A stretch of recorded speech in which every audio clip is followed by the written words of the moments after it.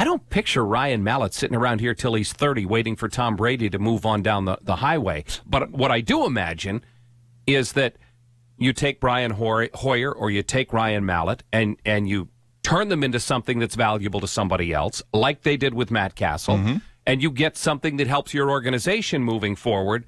Now, I think it's probably more likely they deal Hoyer away than Mallett, and I don't think that's going to happen like this year or something. No. But you know, in the off season, you know, maybe you, you move Hoyer on, you move Mallett into the full time backup role. Obviously, your starting quarterback here is set for a while. Well, with the uh, with the roster uh, scenario that they have now with this 46 guys, and if you want to keep that third quarterback, uh, it's not an emergency scenario. It's a little easier to keep a third guy.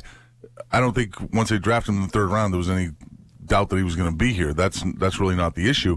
Uh, but uh, it's gonna you're gonna see him progress. You're gonna see him get some more time in the preseason, and the best thing he can do is the same thing that Matt Cassel did: is follow Tom Brady around like a little puppy and do everything that Tom Brady does. And if he's smart, and if his his dad, I guess, was a coach, I he was, know, yeah. yeah, he was. You know, if he's smart enough to understand that, then that's how you get a $42 million contract like Matt Cassel did. I also don't think, and the caller brought up, you know, the, the, uh, yeah, Belichick bringing in questionable characters and talked about Haynesworth and, mm-hmm. and, and he mentioned Mallett.